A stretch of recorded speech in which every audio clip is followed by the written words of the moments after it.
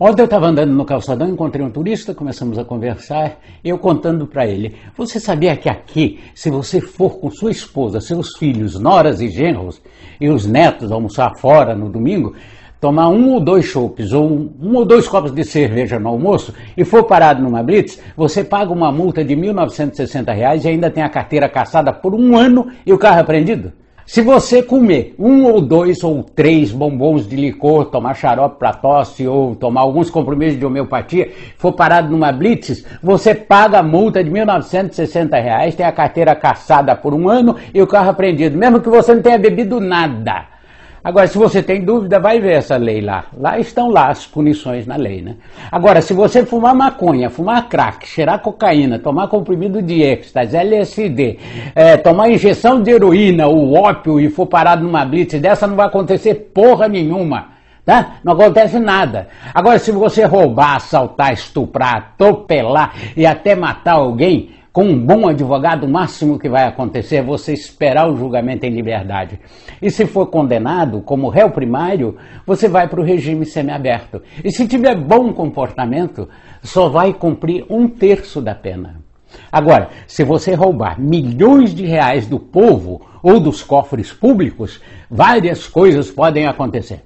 Você vai se eleger deputado ou senador, você vai passar 15 dias num resort na Bahia em companhia da amante, é, vai ser eleito presidente do Senado, vai ser nomeado ministro ou presidente de alguma agência controladora.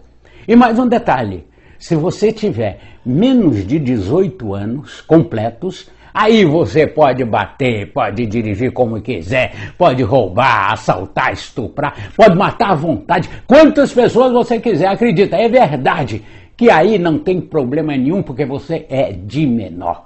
Você só pode ser apreendido porque você é criança e pega no máximo três anos de detenção de confinamento na casa do bem-estar do melhor. Agora, o melhor de tudo, se você tem uma arma na sua casa comprada regularmente, depois de passar por todas as dificuldades da compra, com todos os atestados, testes, documentos apresentados, e tiver a infelicidade de atirar em um bandido que entrou na sua casa para roubar o que é seu, você será preso por tentativa de homicídio e terá de pagar indenização ao bandido por danos físicos e morais. E pior ainda, se o bandido for menor, aí você tá fudido, aí você tá ferrado para a vida inteira. E se por acaso ele estiver desarmado, aí o caso é pior, porque aí é tentativa de homicídio qualificado sem possibilidade de defesa da vítima. Portanto, cuidado, você está fudido. Se um bandido entrar na sua casa, antes de atirar, Pergunte o que é que ele deseja. Pergunte se ele está armado. Pergunte se ele é de maior ou de menor.